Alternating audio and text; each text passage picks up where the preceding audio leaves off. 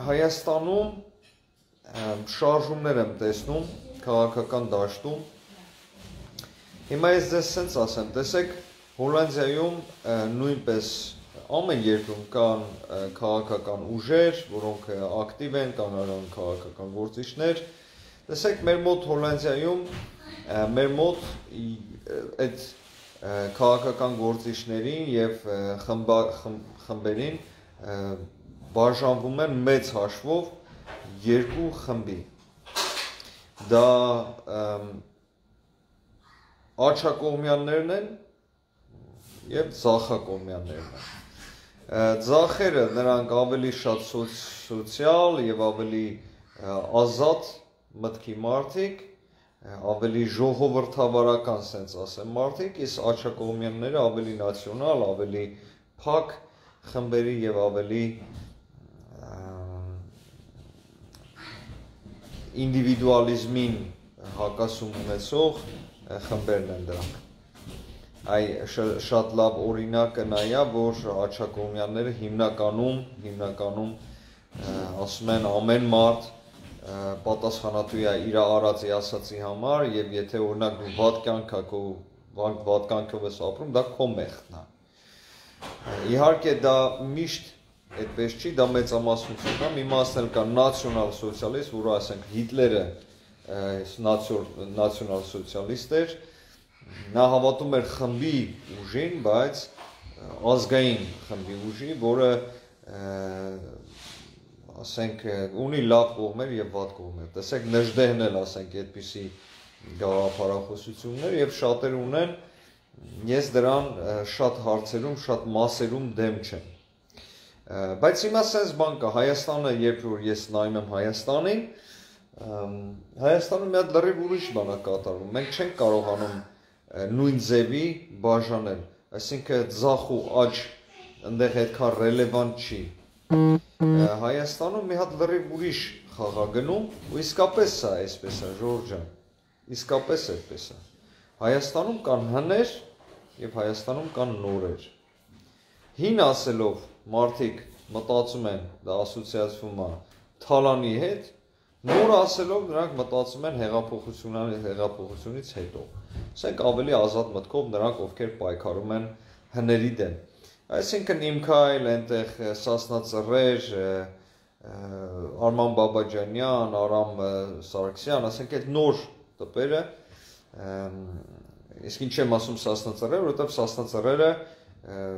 քաղաքական դες կազմակերպություն չէին, ավելի շատ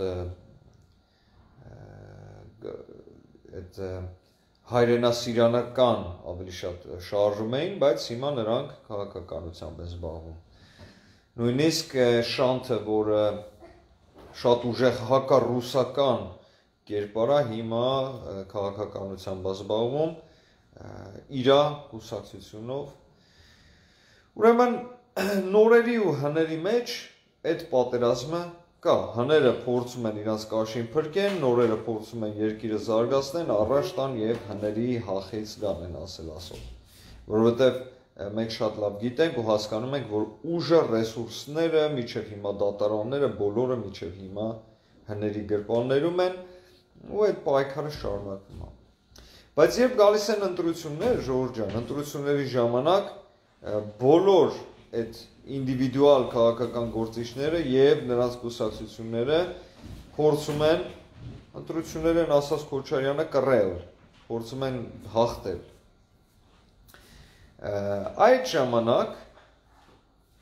այդ հաղթելու գինը նրանք պատրաստ են ամեն ինչ անեն, որ հաղթեն։ Իսկ հաղթելը նա է, որ իրանց մտածած, ասենք, այդ մինիմում ինչ որ մտներում ունեն, դա իրանք ստանան։ Ուրեմն տեսեք, էլի համեմատություն անեմ Հոլանդիայի հետ, երբ որ ստեղ ընտրություններ ա լինում, հիմնականում, հիմնականում աչակողմյանները սկսում են պայքար իրար դիմաց։ Իսկ զախերը իրար դիմաց։ Ինչու, որովհետև ասենք ձախակոմյան մտածելակերպով մտածելակերպ ուղեղում եղած մարդը երբեք չի գնում աչակոմյանների մոտ։ Եթե ասենք ինչ որ մարդ մտածում է, որ միասին պետքա երկիրը կառուցենք, ասենք սոցիալ, բոլորս պետքա ամեն ինչ անենք, որ ցանկացած մարդ լավ ապրի, ասենք թեկուզ թուլերը, որ չեն կարող մանում աշխատեն կամ չեն թեկուզ չեն ուզում աշխատեն, ելի պետք է հնարավորություն ունեն, որ ապրեն։ Դա երբ այդ մարդիկ այդ մտածելակերպի երբեք չի գնա Աչակոմյան զենտա, որը մտածում է էկոնոմիան աշխարհի ամենակարևոր բանն է, մարդկությունից ավելի կարևոր է։ Այ օրինակ, որ ասենք նացիոնալ ըմբրասմա ռասայի հարցերը ավելի կարևոր են, քան թե բարեկեցիկ ապրելը։ Ասենք այդ երկու բևերները այդ ցախ եւ աճ իրար մեջ պայքարում են։ Իհարկե մեծ հաշվով իրար հետ են պայքարում ով ղեկավարությունում լինելու բայց զեների առումով թե ով մեծը կլինի իրար մեջ են նրանք պայքարում այ հենց այդ նույնը կատարվում է ամերիկայում ռեպուբլիկան ռեպուբլիկա ռեպուբլիկանս եկել դեմոկրատները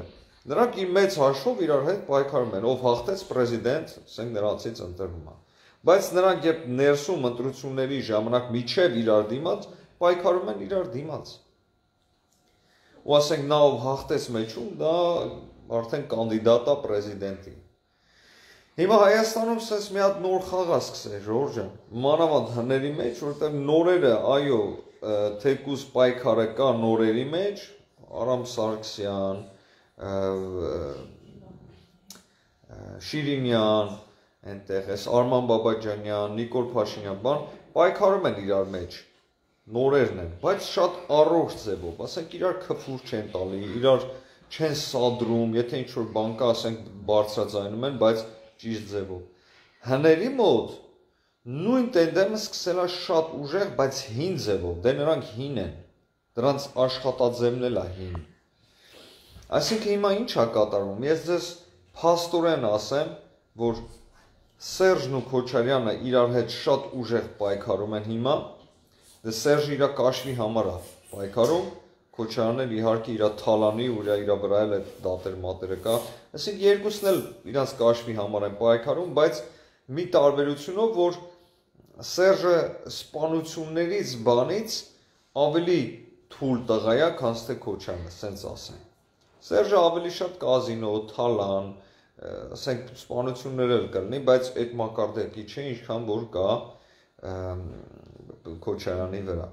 Հետո սրանք այդ Սերժի ինտերվյուից մենք տեսանք, որ սա բարթում էր իր բոլոր դες հատվածները նայեցի ինչ որ բաներ տեսա, որ բարթում էր ինչ որ բաներ իրեն տված Քոչյանը, որ իրան հանձնել է տենց, որ ասում է շին հրաապարակ Հայաստանը տենց կիսատ պրատ տվել է ու ինքը սենց էր դժվար էր։ Ուրեմն բացի սրանից Քոչյանը Սերժին արդեն բան արեց, որ ես Սերժի հետ այս սկզբում արեց, էլի ճիշտ քայլ էր իրանց մեջ։ Ասեց հարցեցին, ասեց ինչ ես ուզում դաշինք կազմես, ասեց այ մարդ դրանք ասեց բրծած բաներ են, դրանց ժողովրդը կյանքում հետ չի ընդունի։ Ոնց է այդ համհետները աշխատեմ։ Հասկանում եք ինչ արեց։ Սերժին մի հատ քացով խփեց, մի հատ էլ իր պոզիցիան ուժեղացրեց, բայց ես Սերժի հետ ինձ մի համեմատեք, ես ավելի լավ տղա եմ։ Ուրեմն հիմա մի հատ ուրիշ խաղ է սկսել Քոչարյանը, նա հասկանում է, որ եթե նա ձեներ պետքա հավաքի,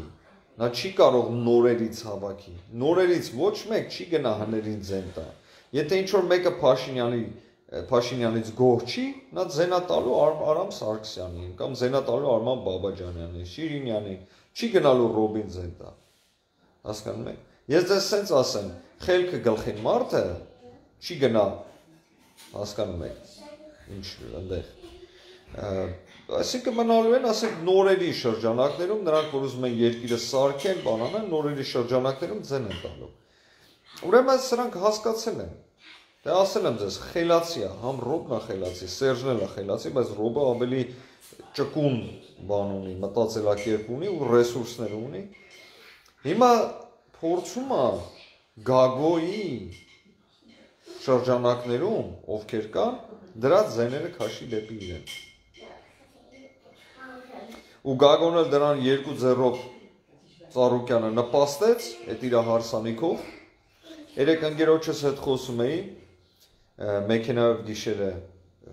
ճանապարհորդում ենք խոսում էի ասում եմ իրար հետ խոսում ենք, էլի, ուզում ենք հասկանանք, թե ծառի Գագիկ Ծառուկյանին ինչը դրթեց, որ այդ քայլին գնաց։ Ասենք այդ տորթը, այդ մեծ հարսանիքը, այդ Ռուսաստանի բան, այդ բանը հրավառությունը բան։ Ու մենք հասանք մտածեցինք ու հասանք այն եզրակացությանը, որ մենք եթե ուզենայինք մի տենց ապուշ բան անեինք, որ ասենք նստեինք մտածենք, ասենք արի երկուսով մի հատ շատ աշխարհի ամենա ապուշ բանը անենք, Այտենց ապուշ բան չէինք կարող մտածեինք, որ Գագիկ Ծառուկյանը արեց։ Հետո ասենք մտածում ենք, այդ մարդը ոնց կարող շարժվեր, ասենք կարող շատ համեստ հարսանիք աներ, բոլոր բաներին զինվորներին, որ վնասված են հրավիրել հարսանիքին, տղային ուղարկեր ծիծեղնակաբերտ, մի կես ժամով հարսի հետ ծաղի գնային, գար, ու ասենք այդ տղեկի հետ համես մի հատ սիրուն հարսանիք անեին, Գիտեք ինչքան ժողովուրդը կսիրեր դա։ Գիտեք ինչ վիճակի մեջ կլներ հիմա Ծառուկյանը։ Ու իր տղան էլ, որ հիմա առավոտից գիշերս մի երկու ամիսա բոլորը անիծում են, տղային էլ, հարսին էլ, իրանց հարսանիքն էլ։ Մենք այդպես մտածում ենք ու հասանք այն եզրակացությանը, որ Ծառուկյանը այնպիսի ապուշ բան արել, որ մենք չենք կարող այդպես բան անենք, եթե ուզենք անենք։ Իսկ սրա այս սրանից հիմա Քոչարյանը շատ ուժեղ օգտվում է ու ինչ անում Ծառուկյանին ավելի շատ է սևացնում։ Ու դա արվում է տարբեր ձևերով, տարբեր կանալներով, մենք այնտեղ Քոչարյան անունը չենք լսի, իհարկե նա շատ խելացի ձևով է աշխատում, բայց Ծառուկյանին սևացնում են ամբողջ ամեն կողմերից։ Թեկուզ այն կաշառքների առումով, որ կաշառքա տալի, առաջինը բարձրաձայնվեց Ծառուկյանի կաշառք տալու հարցը։ Ու ես բարձրաձայնեցի, բոլորը գիտեն, բայց այդ 100.000 դրամի մասին է խոսքը, մեծ փողերի մասին է խոսքը։ Բայց Ժորժ ջան, ես ձեզ հավատացնում եմ, որ այո, Ծառուկյանը կաշառակ աշակ տվել է ու տալիս է փորձում է տա։ Բայց մնացած հներն էլ են դա անում։ Բայց այն հները, որ հիմա ամենաուժեղն են, բարթում են հիմա բոլորը Ծառուկյանի վրա ու տենց էլ առաջ կտանեն որովհետև նրանք ասում են, հասկանում են, որ այն ձեները, որ պետքա հավաքեն, իրանք արդեն ունեն այն ձեները, որ ունեն։ Իսկ նա, որ կարող է գա իրանց մոտ, նորերից չի լինելու, լինելու է էլի այդ հներից, ինձ ամենալավ տեղը, որ այդ ձենը գա, դա Ծառուկյանի ձեն տվողների կողմից է։ Լիլիան «Էդին ջան, դրանց խելացի մի ասեք, ասեք խորամանկ շողոքորդ»։ Լիլիա ջան, խելացիները լինում են երկու տեսակ՝ լավ եւ վատ։ Ասենք Հիտլերին չի կարելի ասել, որ նա խելացի չէր։ Կամ ասենք մարդկա, որ բանկա թալանում, աշխարհի ամենամեծ բանկն է թալանում է եւ նրան կյանքում չեն բռնում։ Դա խելացի մարդ է, բայց լավ է կամ իր առածը լավ է, իհարկե ոչ։ Խելացի ասելով ես ի նկատի չունեմ խելոք լավ խելացի ասելով, որ ուղեղի աշխատանք է, մարդը կարողանում է ուղեղի մտածի։ Եթե մենք ռեալ չվերաբերվենք այս հարցում, թերագնահատելու ենք նրան, նրանց։ Դեսեք, ես որ ասեմ Քոչյանը օրինակ շողոքորդ մարդ է, Դա նշանակում է ես թաքցնում եմ իմ ընկերներից, իմ բարեկամներից իմ միտքը, որ ես կարծում եմ իսկապես նա խելացի մարդ է։ Խելացի ոչ թե լավ, այլ խելացի շատ հարցերում վատ է եղել, ուրեմն ասենք բայց խելացին մնում է խելացի։ Տեսեք պատերազմի ժամանակ միջև պատերազմը մենք բոլորս գոռում էինք ադրբեջանցիք ոչխար են։ Գնել Սարգսյանը լավ ասեց մի անգամ, ասեց ինչի եք իմ զինվորի զգոնությունը թույլատնում, ինչի եք ասում ոչխարը։ Այսինքն պատերազմը եղավ ու տեսանք ով է ոչխար, մենք թե իրանք։ Այդ դրա համար ես չեմ բանանում, ձեռնա ձեռնապահմնում, ես ասում եմ, որ այո, Քոչարյանը եւ Սերժն էլ դրանք խելացի տպեր են, դրանք խելացի են, բայց ցավոք սրտի սխալ ճանապարհի վրա միշտ եւ հիմա էլ նույն ճանապարհը շարունակում են։ Պետրոս ասում է, Էդվին ջան Քոչարյանը եւ մյուսները չեն մասնակցելու, խոսքս հիշեք այդ ամբողջ բանդան կանգնելու է Ծառուկյանի մեջքին ու փորձելու են նրան իշխանության բերեն վտանգը միայն Ծառուկյանից է սպասում մեր երկրին։ Պետրոս ջան, Ծառուկյանը, գիտես ինչա, ես դա կհավատայի, ես նոր ասացի, եթե Ծառուկյանը իր տղայի հարսանիքը շատ ճիշտ ձևով աներ։ Ու ես կասկածանքներ նույնիսկ ունեն, որ իրան խորուրդ են տվել, որ դա ճիշտ ձևով անի, ուղղակի նա չի արել։ Նա արել է իր ձևով։ Իսկ իր ձևը շատ աննասուն ձև էր, դե դա ինքն էլ արդեն հասկանում, որ այդպես է։ Այդ հարսանիքից հետո, այդ հրաբառությունից հետո բոլորը հասկանում են, որ Ծառուկյանին ժողովուրդը չեն ընդունելու։ Մոտակա 6 ամիսը մոռացեք Ժորժը։ Մարդկանց հիշողությունը տևում է 6 ամիս, մի տարի, 20 տարի, որոշ բաներ փոխվում է, բայց առաջի 6 ամիսը շատ ուժեղ մնում է մտապահորությունը մարդկանց մոտ խոսակցությունը կողից ու մանավանդ իր հակառակորդները ինչ են ասում, ասենք Քոչարյանը։ Տեսեք Պետրոժան, նայ ասենք տեսա նյութեր գրած էր, որ Ծառուկյանը Գագիկ Ծառուկյանը բանը դոգը ասում է, որ Ծառուկ Գագիկ Ծառուկյանը ուզում է իրան սպանի։ Հասկանում եք ինչա կատարվում։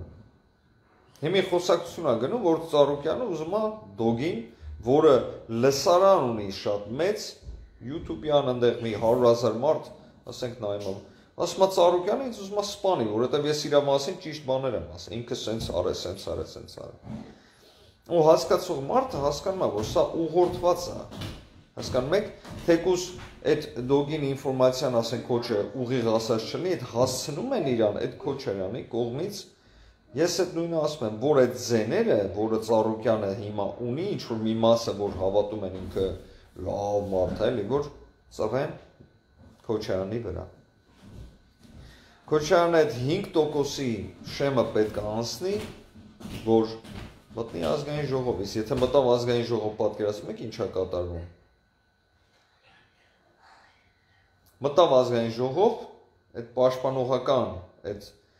ազգային ժողովի անձեռնմխելիությունը ստանում է, այսինքն էլի պրոցեդուրան է պետք, որ այդ անձեռնմխելիությունը մի հատ հանեն, իսկ դու պատկերացնում եք, եթե ազգային ժողովի 40%-ը օրինակ տենց ասեմ, որ հների ձեռ են լինի, որը ես չեմ հավատում կլինի, ես հավատում եմ մեր նոր այս իշխանությունների խելացի եւ բարի ու լավ աշխատանքի համար ես գիտեմ որ այդպես է ու նրանք կկանխեն կաշառքի հարցերը բաները սա կկանխեն բայց փաստը մնում է փաստ որ այդ հների շրջանակներում այդ ձեների խլելը իրարից Դա արդեն սկսվել է։ Դա արդեն սկսվել է ու ես տեսնում եմ դա։ Ես տեսնում եմ ոչ թե ուղիղ իրանց հետ խոսալուց, այլ ես տեսնում եմ շրջակայքում մար մարդիկ, ովքեր խոսում են, ովքեր ինչ որ բաներ ասում են, հասկանում եք։ Դա ամեն ինչ իրար հետ կապված է։ Այսինքն մենք մոտակա օրերս ավելի շատ բաներ կլսենք, վատ բաներ Սարուկյանի մասին ու դա իհարկե երկու գլխավոր պատճառ ունի առաջինը ձեների բանա որ քաշեն դեպի Քոչարյան Սերժին այդքան մի բան արեք Ժորժը նա պրծած մարդ է նա ինչքան ուզում է ինտերվյու տա կինո սարքեն բանա վերջացած է Քոչարյան եւ երկրորդը նա է որ ուշադրությունն է իր վրայից ուզում է մի հատ երբ որ մենք բոլորս նայում ենք Գագիկ Ծառուկյանին մենք չենք նայում թե Քոչարյանը ինչ անում այն օր մի հատ սիրուն տեսանյութ էին դրել, աղջիկներ Քոչարյանի տեղադրել, որ papaիս հետ քայլում ենք ու քայլում էին փողոցում եւ խոսում ենք շատ կարեւոր բաների մասին։ Երևի մարտի 1-ի մանրամասներն է պատմում, էլի աղջկան։ Ժորժան, ուղղակի մտքերս են ձեր հետ կիսում, ուղղակի ուշադիր լսեք ես ինչ եմ ասում, որ այդ երկու խմբերը, որ կան նորերը եւ հները, Հայաստանում դա է հին եւ նոր։ Հələ ես չեմ ասում սև ու սպիտակ, դա մի հատ լրիվ ուրիշ բան է, հին եւ նոր։ Ամեն խմբի մեջ հիմա փորձում են իրարից ձեն խլել։ Հների մեջ այդ պատերազմը շատ ահռելի ձևով լինում։ Չզարմանաք, եթե իրար իսկականից միջև ընտրությունները մի հատ իրար մորթեն բանանան։ Չզարմանաք որ լսեք էլի ասենք ինչ դաշնակ են սպանել կամ ինչ որ են դոդը սես է արել, էնի քոչին սենց արել, իրար մեջ մորթոցի։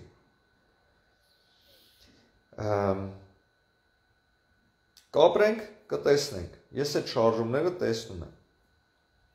Ուրեմն Ժորժան նորություններից իմացանք, ես տեղադրել եմ դա, որ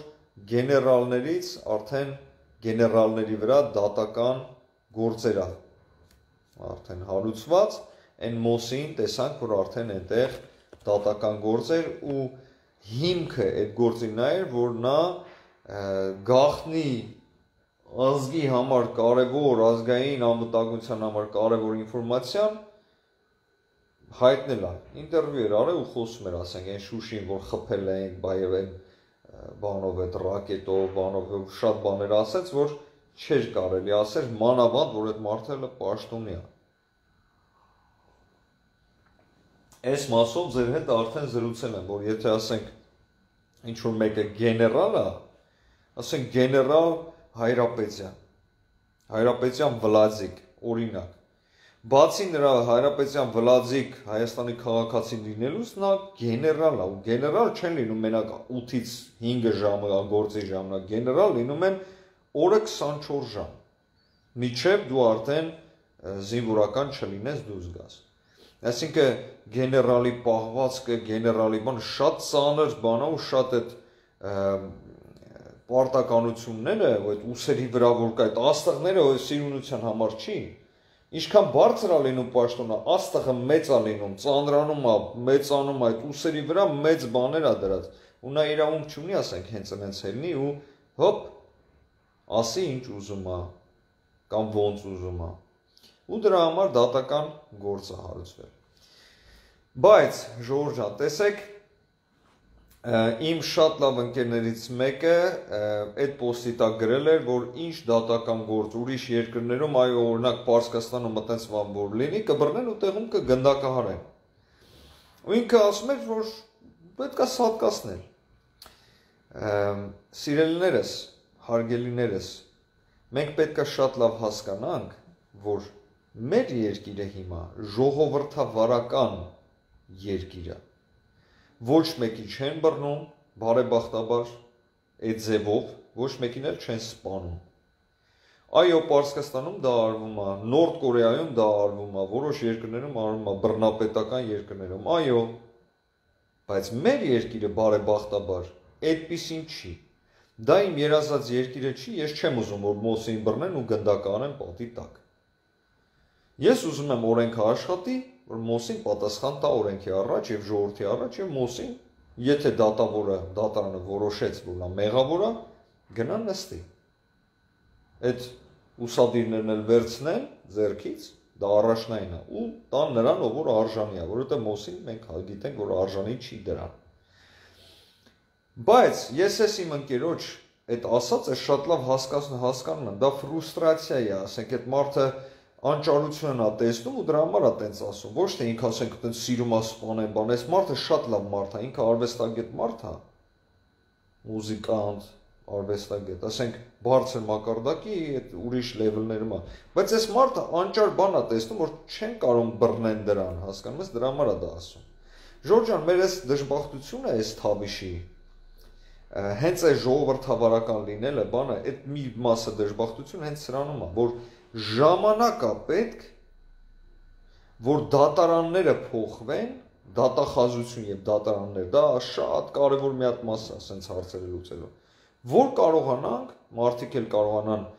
վստահեն, որ ասենք այս ինչին բռնեցին, տանեն ու դատեն։ Ու ճիշտ դատա դատավարություն լինի։ Հիմա չունենք մենք այդ դատարանները։ Դե ֆակտո չունենք, մենք փաստորեն չունենք այդ դատարանները։ Բայց այդ գործընթացը, որ դատավորներին արդեն սկսել են մաքրել, ու դա սկսեց հենց այն պահից, երբ որ Ջահանգիրյանը ընտրվեց ԲԴԽ-ի անդամ եւ հիմա էլ այդ գլխավոր բանին շեֆին իրանց հանեցին ու Ջահանգիրյանը նստեց ու արդեն սկսել է արդեն։ Տեսեք, այդ դատավորներին, ովքեր Փաշինյանի սպանության այդ զակազը օգտվել էին, ովքեր խոսում են դրանց բաց թողես, դրանց արդեն դրանց վրա արդեն քնություն է այդում։ Ու բոլոր դատարավորներին կամաց կամաց կմաքրեն։ Բայց դա նշանակում է, որ կմաքրեն, ոչ թե մաքրել են։ Կմաքրեն, այսինքն հիմիկվա դատարանը, որ մենք ունենք, նույն դատարանն է մի փոքր փոխված ինչ որ ունեին։ Այսինքն նույն կադրերն են։ Կարող է մի մասն էլ ճիշտ պահեն կորեք իրանց վախենան որ ասենք, բան, այո, ղեկավարությունը այդպես է։ Հիմա վախենում են նրանք ղեկավարությունից, վախենում են իլեգալ կամ կոռուպտ բաներ անեն, բայց հին կադրերն են, չէ՞, ժողովուրդ հին մարդիկ են, հին մտածելակերպով մարդիկ են։ Այսինքն այս Մոսի պատմությունը այնտեղ դատն էլ կլինի, ամեն ինչն էլ կլինի, բայց ես հույս հույսով եմ այն ժամանակ ամեն ինչ լինի, որ դատարանները փոխված լինեն։ Այ հենց հիմա դու կհասկանաք, որ ինչի մարդկանց չեն բռնում։ Ինչի չի ուզում նույնիսկ Փաշինյանը, որ հիմա մարդկանց բռնեն։ Որովհետև ինքն էլ է հասկանում, ում բռնեն տանելու են մի հատ բան անեն, դատ անեն, բաց թողնեն։ Ես ի նկատի չունեմ այդ բռնել բաց թողելը, որ սпасի միջև դատը լինի։ Իրական դատը որ եղավ, այս դատավորները որ եղան, ելի բաց են թողելու դրանց։ Դրա համար խելքը գլխի մարդը մտածող հասկանում է, որ հիմա չի կարելի այդ կարևոր գործերը բերել դատարան ու դատավարություն անել։ Հիմա միայն կարելի է գործ հարուցել ու ասել քո վրա գործ կա, ասենք հուլիսին դատը տա, կամ ասենք սեպտեմբերին։ Որ միջև այդ գոնե դատավորներին փոխեն, խելքը գլխին դատավորներ լինեն, որ դատը անցնի ազատ եւ ազնիվ։ Շատ կարեւոր է ազնիվ լինել։ Ասենք, եթե այդ մարդը հանցագործություն արել, դատի, եթե չի արել, բաց թողնել։ Սա ասելով հանդերձ ես շնորհավորում եմ բոլորիս Մոսի առումով, որովհետև դա սկիզբն է գեներալ, sense այս Սեյրանյանն է ինչա, դրան արդեն այդ մեր մարտի մեկով բանով, բայց այս վերջի պատերազմով հələ չկար գեներալ, որ sense քրեական գործեր հարուցվել ու քրեական գործեր շատ է լինելու ես տարբեր բնակավարներում տեսա արդեն քրեական գործեր, ոչ միայն ռազմական, ես տեսա կադաստրից արդեն մեկին էլի տես տարան բոլոր կոռուպցիոն դեմքերին, որոնք թավիշից հետո մանավանդ կոռուպցիայով են զբաղվել ու զբաղվում, բոլորին հավաքում են։ Հավաքում են Ժորժ ջան, բայց միշտ հիշեք, որ այդ որ բռնում բաց են թողում, բռնում են, գործը հարուցում են ու բաց են թողում, բայց գործը չի վերջանում։ Գործը գալու է,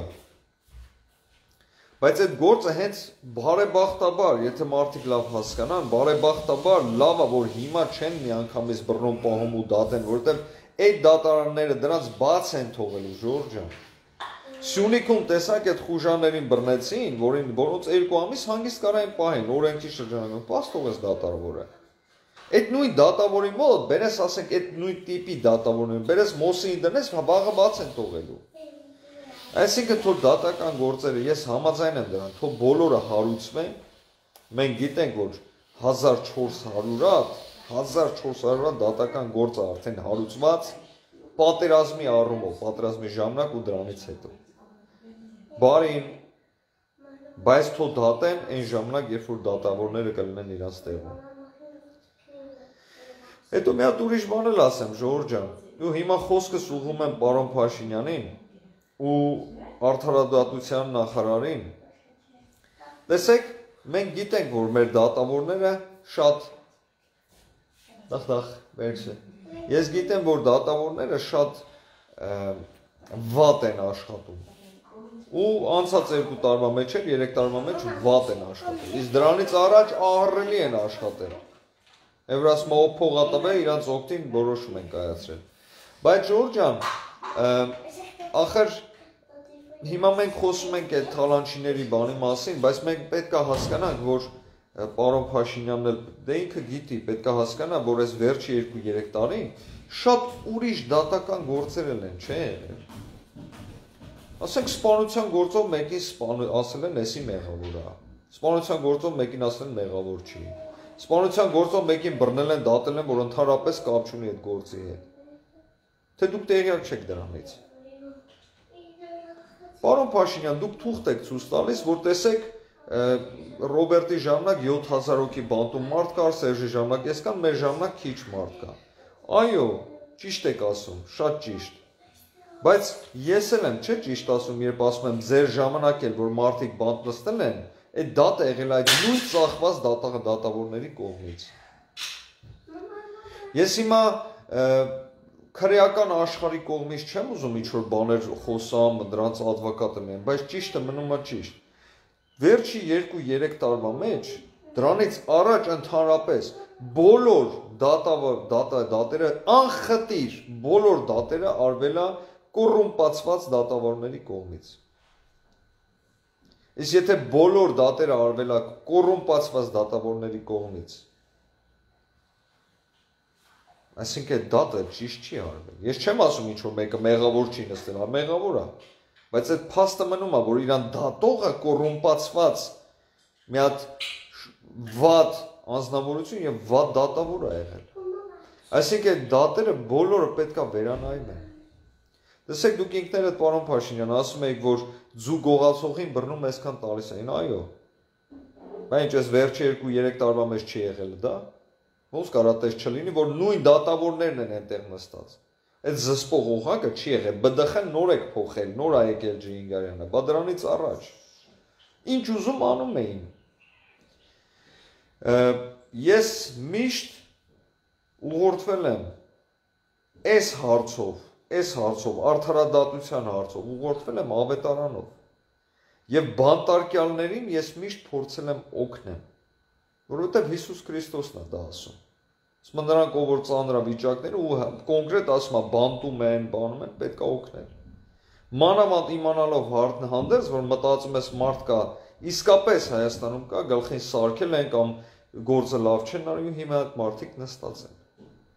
Այդ դատավորները, որ այդ կոռումպացված, հիմա տեսնում ենք, չէ, ասում են կոռումպացված է, տարան էս 3-ին, բան, անում են գոր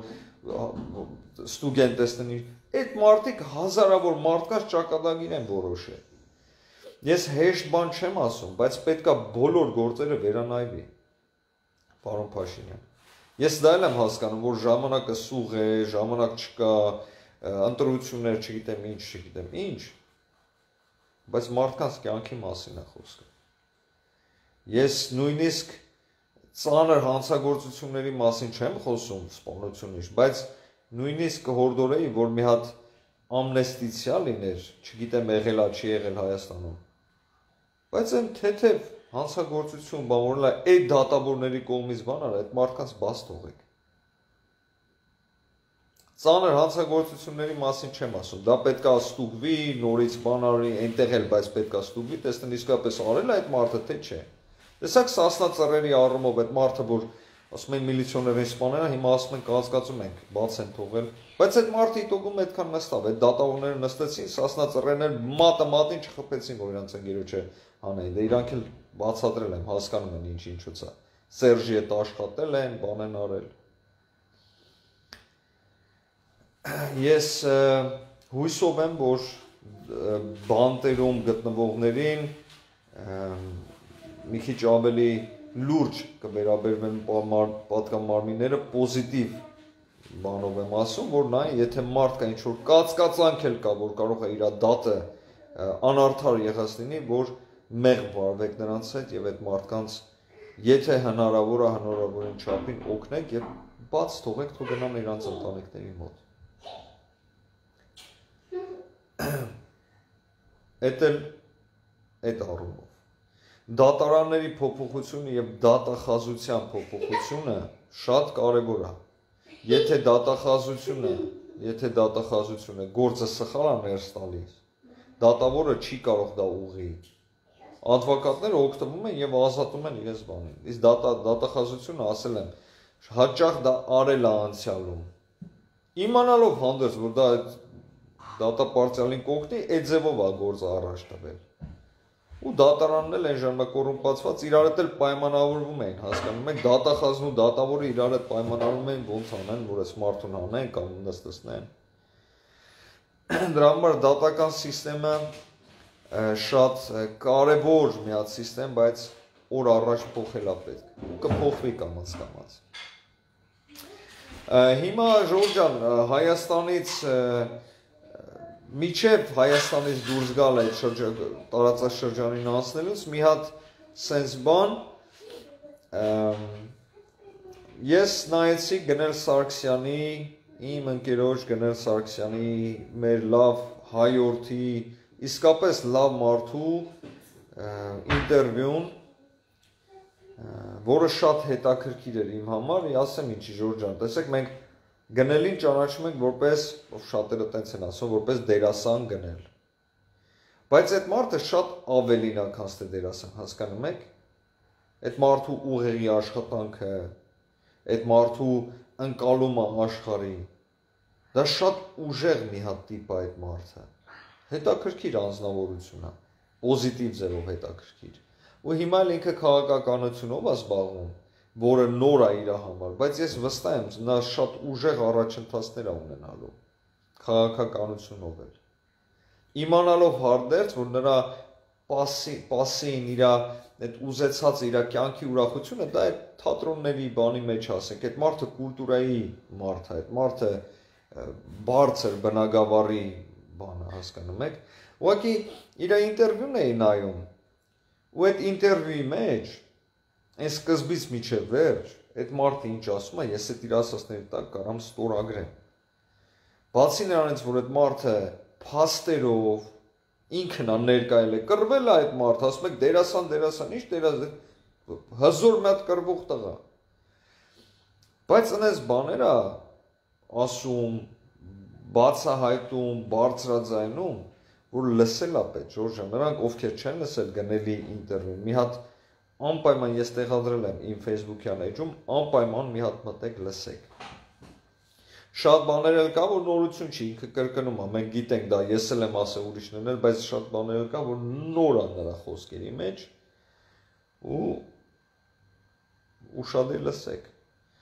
Անմիս ասում է գնելը շատ էմոցիոնալ է։ Անմիս ջան, ինքը էմոցիոնալ մարդ է, բայց բացի դրանից մենք մի բան ենք մոռանում։ Տեսեք, մենք նստում, տեսնում ենք գնելը նստած խոսած գնել է մի քանի ամիս առաջ շրջապատված դիակներով իր անկերների, իր հայրենի, հայրենիքի, իր զավակների կռիվ ա տվել։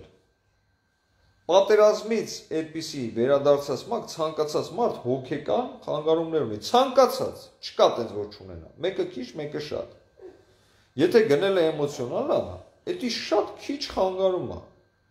Այդ մարդու բնավորությունների մեջ էլ մի քիչ կա, բայց ես ձեզ ասում եմ, այդ մարդը հազարու մի փորձանքի մեջով անցել է, հազարու մի բան է տեսել, որ ուշքի չի գալի այդ մարդը, ուղղակի մենք հələ չենք տեսնում, ասում ենք էմոցիոնալ, էլի էմոցիոնալ է, բայց էմոցիոնալ հալով իր խոսքերի մեջ մի հատ սխալ բան չկա։ Այդ մարդը, հասկանում եք, մաքուր ու ճիշտ մտածելակերպ, լոգիկային հետևող մարդու խոսքերի մեջ սխալ բաներ չի լինում ու ես շատ սիրում ու հարգում եմ այդ մարդուն։ Ու հորդորում եմ նրանք, ովքեր ինտերվյուն չեն տեսել, անպայման նայեք այդ ինտերվյուն, Ժորժ ջան, հետաքրքիր է։ Ուրեմն Ժորժ ջան, Հայաստանից դուրս մենք հիմա տեսնում ենք ու ամեն օր ասել եմ ձեզ, տեսնելու ենք այդ շարժումը։ Ռուսաստանի քայլերը մենք հասկանում ենք, արդեն շատ լավ ենք հասկանում, մի հատ անկյունում է գտնվում հիմա Ռուսաստանը շատ շատ դժվար վիճակում, բայց իմացանք, որ զորքերի մի մասը հիմա տեղակայվել են Սյունիքում։ Իհարկե, այս քայլն էլ դա Ռուսաստանը չի արել Հայաստանի համար, Ռուսաստանը արել է իր համար։ Եվ ինչի սա եմ ձեզ ասել ցանկացած մարդ, երբ ձեր հետ խոսում է, հենց այդ խոսքի ժամանակ հենց ասում է Սյունիքի Միջանցք, Մեղրի Միջանցք, իմացեք ինքը ձեզ ումա խափի։ Կամ էլ ինչ որ մեկը իրանց է խափել։ Այդ Մեղրի Միջանցք այդ հասկացությունը, որ Ադրբեջանին տան վերցնեն, չի թույլատրի կյանքում Պարսկաստանը, չի թույլատրի կյանքում Ռուսաստանը Եդ երկու երկրները չեն թույլատրի, շատ հասարակ պայմանով, որովհետև եթե Պարսկաստանը թույլատրեց այդտեղ Ադրբեջանը միանա Նախճեվանին, այսինքն Թուրքիային, Պարսկաստանը կկորցնի 1 երրորդը իր երկրի։ Արդաբիլ, Մարդաբիլ այդ Ադրբեջան նահանգը վերևի, Թաբրիզ, Մաբրիզ այդ կողմերը Հայաստան։ Բոլորը թուրք են ապրումները ադրբեջանցի։ Ու շատ մեծ մի հատ այնտեղ շարժում կա, որ հիմա օրեցօր մեծանում է, որ Թուրքիա, նրանք Թուրքիային պետք է միանան Թուրքիայի հետ։ Պատկերացնում եք Ադրբեջանցին Պարսկաստանում ուզում է միանա Թուրքիայի հետ։ Կատակ եք կարծում 25 միլիոն մարդ, 80 միլիոն անոց երկում 25 միլիոն մարդ ոտի կանգնի ու ասի մենք ուզում ենք առանձին երկիր լինենք, միանանք Թուրքիային։ Դա կլինի այն ժամանակ, երբ որ կլինի Մեղրիի միջանցք։ Նույնը Ռուսաստանի առումով։ Թուրանը այդ մեծ Թուրքիան օթոմանը խանգարում է մի հատ երկիր, դա Հայաստանն է։ Ասեմ ավելին, խանգարում է մի հատ Սյունիք։ Սյունիքը երբ այդ միջանցքը եղավ, Թուրանը մի հատ դառնում է մի հատ մեծ Թուրան, այն Կազախստանից միջև Հունաստան դառնում է Թուրքիա։ Ու ես երբ ասում եմ Կազախստանից, այդ Մոնգոլիայից միջև Հունաստան, Էդի լենությամբ եմ ասում, իսկ եթե վերևն եք նայում, Ռուսաստանը կիսվում է մեջտեղից։ Թաթարստան, Մաթարստան, սա թուրքեր, մուրքեր կթռնեն Ռուսաստանի գրկից, որովհետև Ռուսաստանը ֆեդերացիա է։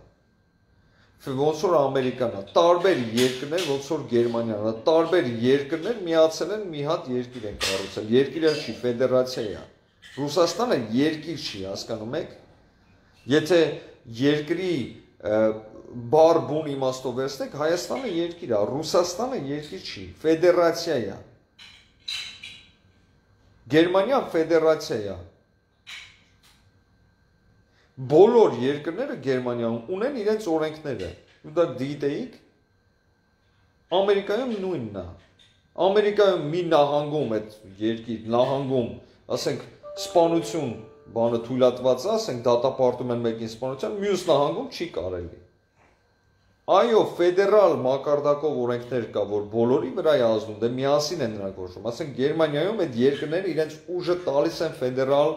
ղեկավարությանը։ Այսինքն ասում են, այո, այս հարցում կարող եք լուծեք այս հարցը, բայց բաներ կասում ոչ, մենք ձեզ թույլ չենք տալի, որ որոշեք թե մենք ինչ անենք։ Ռուսաստանում նույն բանն է, հասկանում եք։ Հիմա պատկերացնում եք Ռուսաստանի հետ, Սիբիրի հետ վերևից ցած այդ մարտիկ ելնեն, ասեն մենք ուզում ենք անկախություն։ Իհարկե Ռուսաստանը դա թույլ չի տա, բայց Ռուսաստանը չի սպասում, որ իր չի սպասի, որ երկրի մեջ այդպիսի տենդեմներ, այդպիսի շարժումներ լինեն։ Իսկ երբ Թուրանի մասին են խոսում, խոսում է Ռուսաստանի մի մասի մասին, շատ կարևոր մասի։ Նենց որ ես նորից եմ ձեզ ասում, այն մարդը, որ ձեզ ասեց Սյունիքի միջանց կամ Մեղրի միջանց, նա ձեզ կամ խափում է, կամ ինչ որ մեկը նրան խափել է։ Այս Ռուսաստանի այդ զորքերը այնտեղ տեղը կայելու հանգամանքը շատ լոգիկայի մեջ է, որովհետև դա շատ բնական է, շատ բնական է Ռուսաստանը երբեք թույլ չի տա այդ միջանցքը լինի Կոմունիկացիայի մասին չի խոսքը, միջանցքը, որ 10 թուրքերին ասեք ձերն է։ Անան ասում է այսօր տեսա, որ իբր Ռուսաստանը զորք հանում է Հայաստանից, դրա մասին գիտեք, ինչ որ բան, ճիշտ տեղեկություն, Անաջա Ռուսաստանը երբեք Հայաստանից է։ Եվ մենք զորով էլ եթանք ասենք զորքը թանի չի հանի։ Երբ ռուսը զորքը հանեց, Հələ նայեք, ամերիկացին նստե սենց, ասում է, բան արա զորքս բերեմ։ Մի հատ սենց անենք, ամերիկացին կնստի Հայաստան։ Ես երբ է ամերիկացին նստեց Հայաստան, դուք այդ որ աշխարհում եք ապրում, այդ ռուսը երբ ոնց թույլ կտա դες բան ունի։ Մի հատ էլ ՆԱՏՕ-ի ռակետ բերեն Կավկասից սրեն Ռուսաստանի վրա։ Կամ ասենք Թուրքիայի հետ ինչ որ ձեռնարկ մեր Ժորժան, ռեալ է պետք մտածել Այդ որ ասում են զորքը հանում է, նշանակում է Ռուսաստանը դուրս է գալի Հայաստանից։ Այդպիսի բաներ չկա, այդ պրիմիտիվ բաներ մի խնդրում եմ մի հավատացեք։ Ես ասում եմ, դա էդ էլ որ ասում են Ռուսաստանը զորք հանում է, կամ ձեզ խափում են, կամ իրանց են խափել։ Ռուսաստանի տիրույթում Ռուսաստանը դուրս չի գալիս։ Դու Ռուսաստանը մենակ մտնում է։ Ռուսաստանին կարող է զորով հանեն։ Բայց Հայաստանում ով է զորով Ռուսաստանին հանում։ Հայաստանով Վրաստան չի։ Ես դու ոնց եք պատկերացնում Հայաստանից զորք անեն, բայց զորքը Արցախում կանգնած լինի կամ բերեն լցնեն կամ Արցախը սարքեն Ռուսաստան։ Մենք պետք է հասկանանք ինչի մասին է խոսքը։ Իսկ նրանք ովքեր ասում են, դա ասում են խափում են ձեզ, դե իրանց օկտին են դա անում։ Էլի քոչարյանական շարժում է, չէ՞։ Ասում են, տեսեք, ռուսը զորք անում է, որ ժողովուրդը պանիկայի մեջ ընկնի, ասի, վայ, ռուսը ստե չլինի, հեսա թուրքը գալու է մեզ սպանի։ Իսկ ռուսը երբ ստեղ կլինի, ասում են բա Քոչյանը որ եկավ, Քոչյանը ռուսի մարդն է։ Ինչ ռուսի մարդ։ Պուտինի փոքր տղեն է։ Բա Պուտինը կթողի իրան մի հատ վատ բան ալի։ Խափում են Ժորժան, խափում են, ինչի մասին է խոսքը։ Տիրույթների մասին Ամերիկան ասել եմ ձեզ, նորից հետա վերադարձել։ Ամերիկայի առումով էլ էսա կասեմ, Ամերիկան հետա վերադարձել այդ գլոբալիստ մտածելակերպը, այդ բաց մտածելակերպը, որը Հայաստանին 100% ձեռա տալի հիմա, դա նրանք կպահեն 4 տարի։ Դա էլ ձև չկա։ Դուք ձեզ հարց չեք տալի, թե Տրումպը, Թրամպը Ամերիկայի պրեզիդենտ ինչ եղավ։ Դուք իրան չեք տեսնի, Facebook-ից էլ են հանել Տրումպին։ Twitter, բան փակել են, այդ մարդը չկա, գոյություն չունի։ 4 տարի այս քաղաքականությունը առաջ է գնալու։ Հայամետ եւ Հայաստանի եւ հայերին շատ ձեռնտու։ Ասել եմ նույնիսկ Բայանդուր պապիկը եթե չլինի, լինելու է երկրորդ մարդը Հարիսը Ամերիկայի, որը ավելի հայամետ է ոչ թե հայամետա, որ մենակ հայերին սիրում է, չէ, նա հասկանում է այդ լուծումը հարցի Ռուսաստանի հետ, նա տեսնում է հայերին ուժեղացնելու մեջ։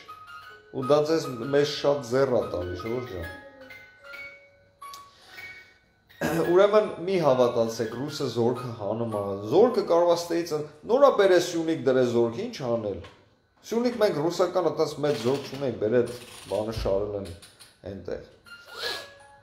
Իսկ Հայաստանի բռնած ճանապարհը եւ վարչապետի եւ մեր դիվանագետների շատ ճիշտ է։ Աշխատում է եւ ամերիկացիների հետ, աշխատում է եւ ռուսերի հետ, աշխատում է եւ ֆրանսիացիների հետ։ Իմիջայլոց ռուսերը նոր քայլ են ձեռնարկել։ Ամերիկան ուզում է մասնակցի Հայաստանի խնդիրների լուծմանը։ Դե դա մենք շատ լավ գիտենք, Ռուսաստանը դա չի ուզում։ Անտեղ խոսվել է Մինսկի խմբի մասին, բայց Ռուսաստանը Մինսկի խմբից չի ուզում, որ այդ հարցը Մինսկի խումբ անի, որովհետև այնտեղ երկու մեկ է՝ Ֆրանսիա, Ամերիկա, Ռուսաստան։ Նրանք ավելի իրար մոտ են Ֆրանսիան ու Ամերիկան, քան թե Ռուսաստանը։ Ռուսաստանը հիմա նոր առաջարկ արել ու արելա Ֆրանսիային։ Ֆրանսիային առաջարկել արի ես Հայաստանի հարցը ես ու դու լուծենք միասին ու ասեմ ավելին Ֆրանսիան անտարբեր չի ես առաջարկել։ Կարող է դա լինի եւ Ռուսաստանը եւ Ֆրանսիան միասին Ամերիկային ինչ որ մի դիստանցիայի վրա կարողանան պահեն, բայց նույնիսկ այդ հարցում ավելի լավ կլինի Հայաստանին համար, քան թե եթե միայն Ամերիկան մասնակցի։ Սրա մասին մոտ օրերս ավելի շատ ինֆորմացիա ես ձեզ կտրամադրեմ, բայց կարևոր է հասկանալը, որ մեծ մասշտաբով Ամերիկա-Ռուսաստան պայքարում են իրար հետ։ Այդ պայքարը կտևի մինչև 2030 թիվն էլ, Ժորժ ջան։ Ինչ եմ ասում կոնկրետ 30 թիվը, որովհետև Ամերիկայում երեք նրանց մզինական, ռազմական մասնագետները քննություններ են անցկացրել, assessment-ներ են արել, փաստերը, այդ իրանց շպիոնների կողմից հավաքած ինֆորմացիայով եւ համոզ, համոզման են եկել, որ միջև 2030 թիվը նրանց թշնամի Ռուսաստանն է։ Ինչի, որովհետև Ռուսաստանը աշխարհի երկրորդ ռազմական ուժն է Ամերիկայից հետո։ Իրանք այդպես են համոզում։ Դե Ռուսաստան ասում է մենք ենք ուժեղ երկրորդը Ամերիկան է։ 2030 թվից երկրորդ ուժը դառնում է Չինաստանը ռազմական առումով զարգացման, ռազմական զարգացման առումով։ Ինչի եմ դա ասում, ես կարդացի նրանց այդ զեկույցները, Ռուսաստանի արդյունաբերությունը ռազմական կանգ առել խնդիրներ ունի կանգ առելով։ Չինաստանինը շատ ուժեղ զարգացման մեջ է։ Ու այն պլանները, որ նրանք ունեն 30 թվականից սկսած մինչև 35 թիվ գերազանցելու են Ռուսաստանի։ Իսկ երբ որ երկրորդ, երրորդից անցնում ես երկրորդ հարթակ, արդեն վտանգ ես ներկայացնում առաջինին, Ամերիկային։ Մեր համար դա հիմա կարևոր չի, որովհետև մեր համար ասել եմ գալացող 4 տարին մեր համար կարևոր է Հայաստանի զարգացումը, բարեկեցիկ կյանք, զենքերի բարելավում, զարգացում, այո, ինչու՞ չէ, ամերիկյան եւ ֆրանսիական զենքեր, գերմանական զենքեր, զենքեր, անգլիական զենքեր, եթե դա հնարավոր լինի։ ասեցի անգլիական զերքեր, հիշեցի աշներս լուզ, վերջապես գործ են հարուցել այդ Արմեն Սարգսյանի այդ բան պրեզիդենտ լինելու առումով մեռա ասերով էսին լայֆերում, որ այդ մարդը ժամանակին չի հանձնել իր պասպորտները, որ սա սարկած է։ Որ հնարավոր չի այդ մարդը Անգլիայից գա ու մի տարի հետո բռնեն դնեն պրեզիդենտ ու ասեն գիտեք ինչ կամ այս մարդը 4 տարի է Հայաստանի Հայաստանում ապրում ու Հայաստանի քաղաքացիություն ունի, մենակ իր անգլիականը չունի։ Ինչի մասին է խոսքը։ Ախր հետաքրքիր է, ոնց են կարացել ժողովրդին այդքան տարի խափեն, ու այս վերջի 2-3 տարին էլ ոչ մի բան չի արվել։ Դե ես հասկանում եմ ինչի չի արվել, բացատրեցի։ Նույն հարցով սահմանադրական դատարան պետք է դիմեին, բա պետք է ասեին չէ, դե բան չկա, խնդրեմ չկա։ Հիմա հասկանում են մարդիկ, հասկանում են, որ դատարաններում փոփոխություն է, որ հնարավոր է այդ սևը ջրի երես բերեն ու parzեն թե Արմեն Սարգսյանը ինչով է զբաղված եղել։ Արմեն Սարգսյանին բերել են, հենց Սերժը բերել դրել է, իմանալով հանդերձ թե ում համարանա աշխատում, որ երկրի ծառանանա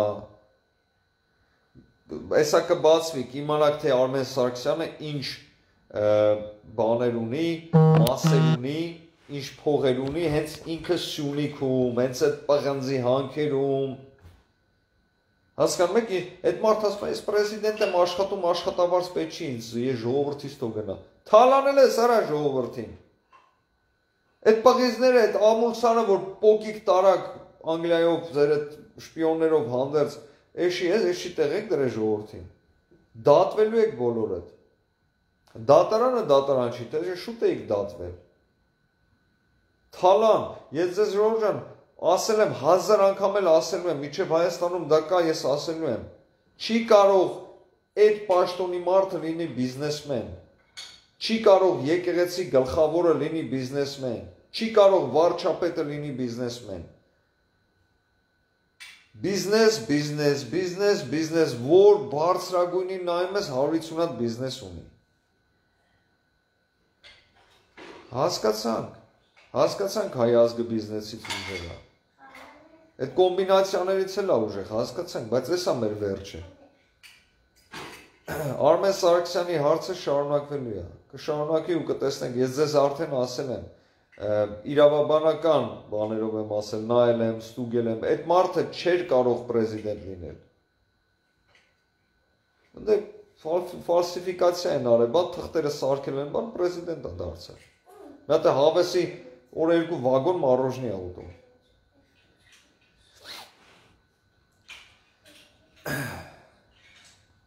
Ժորժան, Հայաստանի ներսում հիմա բարեբախտաբար շատ բաները ավելի հանգիստ է։ Դե մենք տեսնում ենք այն փոքր սադրանքները, բաները, տեսակ այն Գանդիի արցանը վառողին բռնել են 61 տարեկան մի հատ անասուն, բայց ես վստահ եմ դա մի հոգի չի եղել բայց եթե իմ կարծած, որ ես կարծում եմ, այդ խմբի գործն է, ես այդ մի օքու ժերտվա կտանք, եթե կասի ես եմ արել, մնացածը ազատ կարծակում։ Միշտ տենց է, չէ՞ անում։ Հոկտեմբերի 27 Սպանի բանարին մի օքի ասեց ես եմ արել, տարան մի օքու նստեցրին, թե հայտնի չի ուրա միջև հիմա ոնց է, մնացածը ազատ։ Փոքր մոքր բաներ է տեղի ունենում Հայաստանում, դա այդքան էական չի մի թողեք, որ մի սադրանքներին մի տրվեք, մի թողեք, որ ձեզ հունից հանեն, կամ տեսեք այդպիսի տեղեկություն ռուսը հանում է զորքը կամ երեք էլ ասեցի ձեզ։ Տարիքով կինա գնացել է եկեղեցի Սյունիքում, Գորիս քաղաք, գնացել է եկեղեցի, տերտեր ասում է, եկել ես ինչ անես, հեսա գալու ես, աղես մորթ են սպանեն, բանանեն։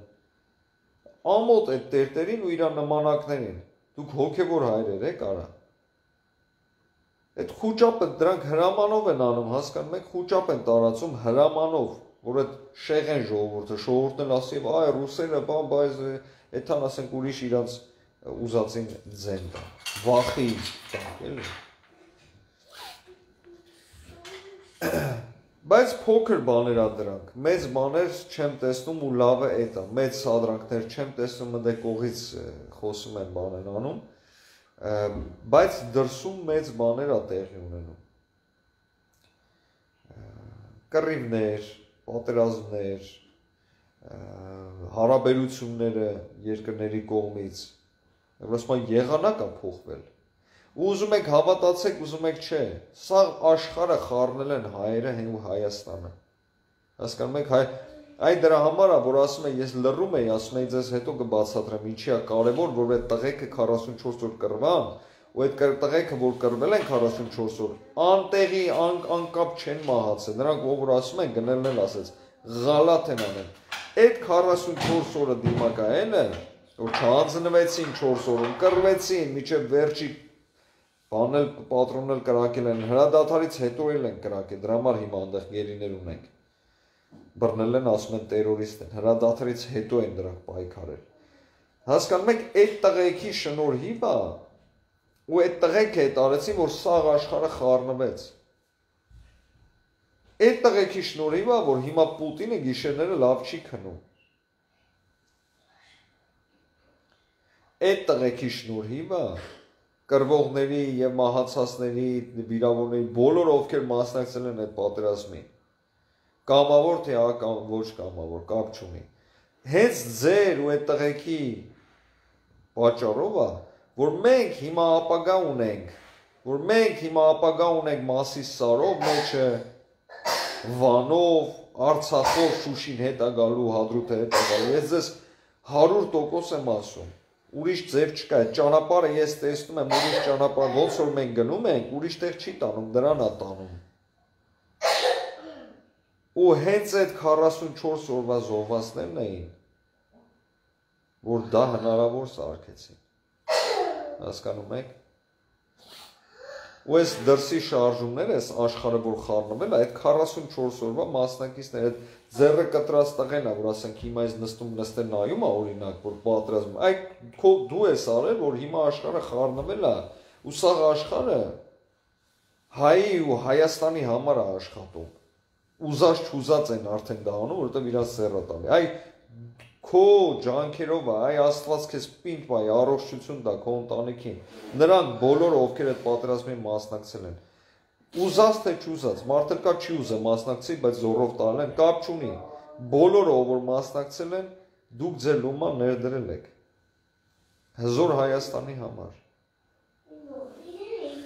ու մենք ամեն օր տեսնելու ենք այս շարժումները Հայաստանից դուրս։ Հայաստանը լինելու է խաղաղ, Հայաստանի ղեկավարությունը անում է ամեն ինչ, որ Հայաստանում պատերազմ չլինի։ Մենք շատ լավ գիտենք Ադրբեջանն է սադրում, սադրում է Թուրքիան, սադրում է, չգիտեմ, Պակիստանը, չգիտեմ ովքեր, բայց մեր ղեկավարությունը հավատացեք Ժորժան, խելացի եւ ոչ արունախում մանավանդ իր ժողովրդի անունը նա չի ուզում Փաշինյանը երբեք չի ուզեցել որ հային վատ լինի ազգային ժողովից չխոսացի երեկվա դուք ինքներդ բոլորը տեսել եք բայց այդ մասի մասին կասեմ Աշոտ Փաշինյանի մասին ես շատ ինֆորմացիա ունեմ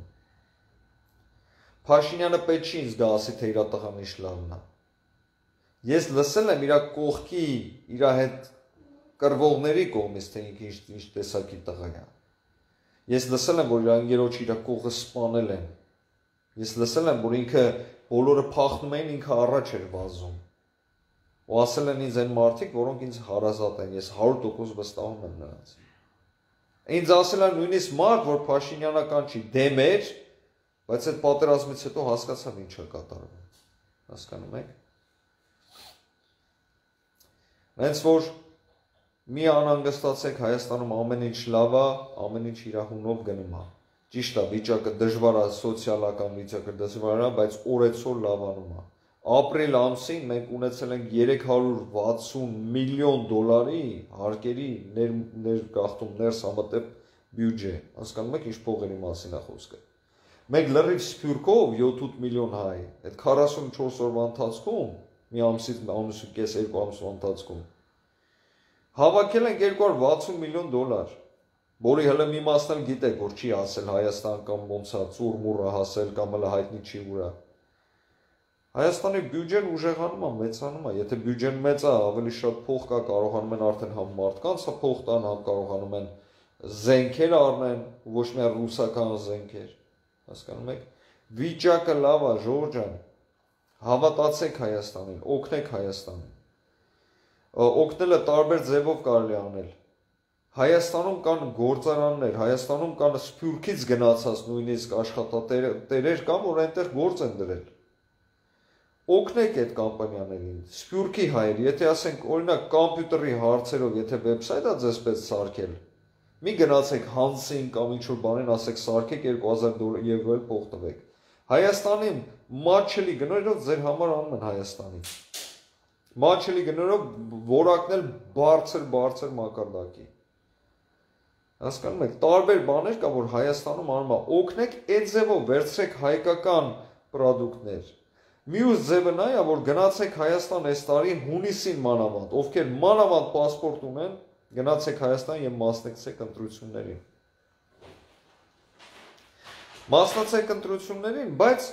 գնացեք հանգստացեք, գնացեք Սյունի, գնացեք Դիլիջան, գնացեք չգիտեմ որտեղ, որտեղ Այնտեղ ռեստորան մտեք, հոթել վերցրեք, ծախսեք, թող էկոնոմիան այդ գումարները ստանա, որովհետև հիմա ցանկացած գումար որ գնում է, մենակ այդ գործատերը այդ ռեստորանի տերը չի որ փող ուտում։ Այդ ՀԴՄ-ները, այդ հարկերը գնում արդեն մեկավարությանը ժողովրդյան։ Ժողովրդին է գնում, հասկանում եք, դուք այնտեղ որ գնում եք, մի հատ բրթուճ եք առնում ուտում եք, մտածեք, որ այդ բրթուճի մի մասը գնա ժողովրդին։ Հավատացեք, օգնենք իրար, օգնենք իրար, սիրենք իրար, որ մի քիչ ուժեղ լինենք։ Մեզ պետք է ուժեղ լինել։ Հայը մենակ հային կօգնի ու հայի համար ան շահ կմտածի Ոչ ռուսը, ոչ ամերիկացին, ոչ չգիտեմ ով։ Հայը, հայը, մենք մեզ պետք է օգնենք, սիրենք իրար։ Ժորժան, որ շատ ձեր համբերությունը չշահեմ, մի հատ էլ թեմա կա, որ ձեր հետ ուզում եմ սրա մասին խոսամ, որովհետև նորություններով տեսա Թուրքիան ցեղասպանության առումով հիմա փորձում ան Եվրոպայում, Ամերիկայում ամերիկացի եւ եվրոպացի ինչ որ գիտնականներ փողով բանով ճարի, որ ապացուցի, որ Հայաստանի այդ հայկական ցեղասպանությունը ինչ որ միֆ է կամ ինչ որ բաներ ճշգրտված չեն, ինչ որ մեկին գտել էին էլի Ամերիկայից, որ ասում էր Հայաստանը իր արխիվները չի բացում, որը սուտ է իհարկե մենք շատ լավ գիտենք, որ արխիվները համ բաց են, համ բան Բայց ինչ որ մեկը դե հարցրեց, ասաց արխիվների բացումը քո համար ինչի համար է կարևոր, որովհետև ասենք այդքան ինֆորմացիա կա, բան, ասաց որ պատմությունը լրիվ բացահայտենք, իմանանք գենոցիդա թե գենոցիդ չի։ Ցեղասպանությունա թե ցեղասպանություն չի։ Ուրեմն հիմա ես ձեզ ոչ թե որպես ընկեր Էդվին կամ Էդվին Facebook-յան ընկեր եմ ձեզ դիմում, այլ ընտրում եմ որպես իրավաբան Էդվին Մարտիրոսյան։ Բացատրում եմ այս մասը։ Ժորժան ցեղասպանություն բառը ինքը պատմական նշանակություն չունի։ Ցեղասպանություն բառը դա իրավաբանական տերմին է։ Ոնց որ սպանություն, ոնց որ գողություն։ Այսինքն իրավաբանական տերմինը, թե դա ցեղասպանություն է եղել այդ ինչ որ հայրը եղել է թե չէ, դա պատմության հետ կապ չունի։ Պատմությունը արդեն 106 տարի է տրամադրել է բոլոր փաստերը մարդկանց ցուցմունքներից բռնած հազարավոր դրսի ուժերի կողմից զայնագրված եւ արձանագրված փաստերի կողմից հենց Թուրքիայի ներսում հայթայթած փաստերի կողմից, ասենք փաստերը հավաքված են։ Մենք կարիք չունենք ավելի շատ փաստերի։ Այն մարդը, բայց մի, մի խումբ եթե կա, որ կարող է ու պիտի գոռա, որ փաստեր ապե, դա պիտի լինենք մենք որ կարողանանք ապացուցենք։ Բայց մենք գիտենք, որ մեզ էլ ապացույց պետք չի։ Այնքան ապացույց կա, ձեզ ասել եմ երկրորդ համաշխարհայինի հрьяաների ջարդից ավելի շատ ապացույց կա հայերի ջարդի վերաբերման։ Իսկ եթե ապացույցներ կան, պատմության հարցը չի, ուղղակի պետքա տեսնենք այդ ապացույցներով կարող ենք կվալիֆիկացիա անենք թե ցեղասպանությունը եղել է, թե ոչ։ Այս հարցով եմ ձեզ ասել, հայերը այդ այդ բանին չեն դիմել, դատական հարցով առաջ տանել, որտեղ մենք գիտենք, եթե ինչ-որ մի բան եղել է 15 թվին եւ 43 թվականին Լեմկինը հորինել է ցեղասպանություն բառը, չի կարող հետամուտ ազդի դրա վրա յուրիդիչեսկի բանով այդ իրավաբանական ուժի առումով եմ ասում։ Դրա համար մենք իրավաբանական առումով հայ ազգը եւ հայ այդ պատկան մարմինները այդ գծով առաջ չեն տարել։ Բայց եթե ինչ որ մեկը կա ուզում է տեսնի դա ցեղասպանություն է թե ոչ, ոչ թե պետքա պատմությանը նայի, այլ պետքա իրավաբանական գնահատական տա։ Եվ իրավաբանական գնահատականը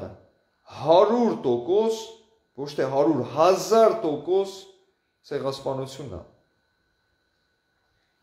Հենց այն հասարակ փաստը, որ հենց Լեմկինը ցեղասպանություն բառը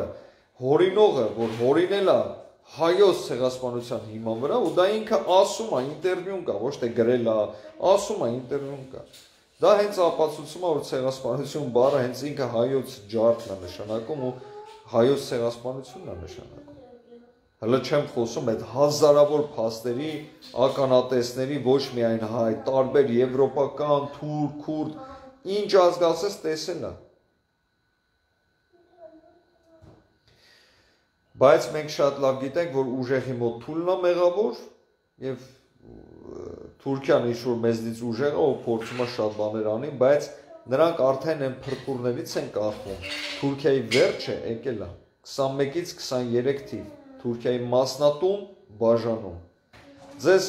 ասել եմ այս ինֆորմացիան։ Դուք չեք լսի նորություններով, հետո կլսեք։ Բայց հիմա ասում եմ, Քուրդիստանը գծվում։ Քուրդիստան են գծում Իրաք, Սուրիա,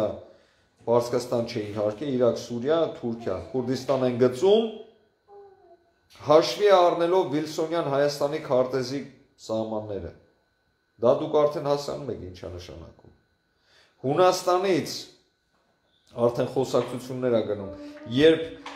Բայանդուր Պապիկը խոսում էր հայոց ցեղասպանության մասին, նա չէր խոսում Իստանբուլի մասին, նա խոսում էր Կոնստանտինապոլիսի մասին,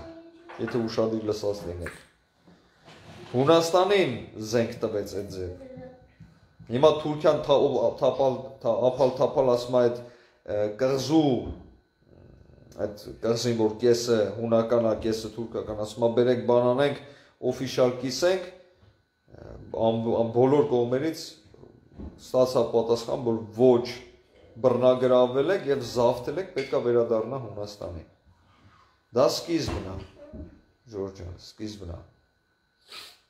Մենք լավ ուղու վրա ենք, մի թողեք, որ ձեզ սադրեն, մի թողեք, որ ձեզ ճանապարից շեղեն։ Հների նոների առումով, հները իրար մեջ են, իրար ձեները բաշխելու, բաժանելու, կապրեն կտեսնենք ոնց կլինի, նորերը նորերի մեջ։ Ես նորերի առումով ընդհանրապես չեմ խառնվում, որովհետև ժողովուրդը ում ուզում է նրանը ձենա տանի։ Դուք հասկանում եք, Ժորժան, իմ, տեսեք, ինձ շատ շատ հաճախ է, որ ինձ հարցրել են կամ ասել են, հարցրել են դու Նիկոլական ես կամ ասել են դու Նիկոլական ես։ Ես նրանց պատասխանում եմ ֆիզիկ ինտերնետով չէ, ֆիզիկապես ոչ, ես Անի Զախարյանական եմ իհարկե կատակով, որ նրանք հասկանան, որ ես ոչ մի ական չեմ, ես հայական եմ, ես ժողովրդական եմ։ Ժողովուրդը կընթունի Անի Զախարյանին կընտրի, ես իմ ժողովրդի կողքին եմ։ Ժողովուրդը ընտրել է Փաշինյանին, ես Փաշինյանի կողքին եմ։ Դա չի նշանակում, որ ես Փաշինյանին վատ մարդ եմ տեսնում, ես տեսնում եմ նա որպես ազնիվ եւ լավ մարդ։ Բայց լավ մարդ չի նշանակում ժողովրդի ընտրյալ։ Այդ մեր ազգի մի հատ բան կա, չէ՞, մի հատ sense ուղեղի ինչ որ հա բան կա, որ sense պետք է անցնենք դրանից։ Ասում է ինքը պետք է ազգային ժողովում լինի, ասում է ինչի ասում լավ մարդ է։ Ժորժը լավ մարդ ազգային ժողովի հետ ինչ կապ ունի պատգամավորի հետ։ Այն սարեցու մասին էր խոսում մի ժամանակ առաջ, մի 3-4 տարի առաջ խոսում էին ընկերոջս հետ, ասում եմ այդ մարդ ինչա պարլամենտում նստած, ասում է լավ մարդ է։ Ժորժան լավ մարդ է, ինչ կապ ունի վարչապետի հետ։ Հա լավ է որ վարչապետ ունենանք, մի հատ էլ լավ լինի։ Բայց իմ համար այդ կարևոր չի։ Ավելի լավ է վատ մարդ լինի, բայց լավ վարչապետ լինի ժողովրդի համար։ Ժողովրդի ինտերիալ, ժողովրդի կողքին։ Վատ մարդ է, թո դա դուրսը մարծեցի, չգիտեմ ինչ անի, թո վատ լինի, բայց իր պաշտոնը որ ժողովրդը, իրան չեն ընտրել որպես լավ մարդ, իրան ընտրել են որպես լավ վարչապետ։ Դրա համար նա իր պաշտոնը պետքա ճիշտ։ Հիմնականում լավ վարչապետը շատ ժամանակ լավ մարդ է լինում, որովհետև տենց է կարգը, բայց կարող է լինի վատ մարդ, Այսինքն չար մարդ, բայց իր գործը ճիշտ անի, ժողովրդի համար, ազգի համար լավ լինի։ Ես դրա համար ասում եմ, ես նիկոլական չեմ, ես քաղաքականությունով չեմ զբաղվում։ Ես ձեր հետ խոսում եմ կարծիքները, ես կարող եմ Վինի Պուխի մուլտիկի մասին էլ ձեր հետ խոսամ, իր այդ քննարկենք։ Ինչ որ հետաքրքիր բան լինի։ Ուրեմն ես Վինի Պուխյան եմ կամ ինչ որ չգիտեմ ինչա կանեմ։ Բայց ես ժողովրդավարական եմ, այո։ Ես իմ ժողովրդի կողքին եմ։ Ես հայամետ եմ։ Ասեմ ավելի, ես հոլանդացի գիտեմ, ինքը հայամետ է, ես իրան սիրում եմ։ Ես ռասիստ չեմ, ես նացիոնալիստ չեմ, ես չեմ ասում հայերը լավ են, մնացածը վատ են, կամ ասենք պիտի վատ լինեն։ Ես դա դա ես չեմ։ Բայց ես հայամետ եմ, Ժորժ ջան, որովհետև շահից դուրս գալով եմ հայամետ, հասկանում եմ, հայ եմ, ինչ էլ չլինի, որտեղ էլ փորձից եմ ասում, որտեղ գնացել եմ նեղն եմ ընկե վերջի են բանը հայն է եղել որ ինձ օգնել է իմանում է հայա ձերա բռնում հասկանում եք? Իմ երեխեքը հայի ազգանուն ունեն ուր էլ գնան ինչքան էլ ոնց անեն վերջում հայ են հասկանում եք մի հատ երկիր ունեն ստեղ չի այնտեղ է իրանց ազգանունը իրանց երկիրը արդեն ցուցադրում է որտեղ որտեղի ժողովուրդ են նրանք Դրա համար Ժորժ ջան, այո, ես իմ ժողովրդի կողքին եմ, Ես ժողովրդի կողմից ընտրյալի կողքին եմ եւ միշտ լինելու եմ։ Ինչքան եմ որ ասում ուժս պատի, իմ չափերով լինելու եմ։ Խոսալու եմ իմ ուժերով, իմ ուղեղի չափերով, բայց իմ ժողովրդի կողքին, իմ ժողովրդի հետ։ Ժորժան, ես ձեզ շատ սիրում, հարգում եմ, մնացեք բարով, սիրեք իրար։ Խնդրում եմ, սիրեք իրար, մի փոքր սեր ա մեզ պակասում։ Սիրենք իրար, ընդունենք իրար ոնց որ կանք, եւ մեր ապագան լավ է լինելու։ Հայը պետքա լավ ապրի Հայաստանում։ Հայաստանի հայը պետքա բարեկեցիկ կյանք ունենա։ Սիրում եմ ձեզ, Ժորժ ջան։ Մնացեք բարով։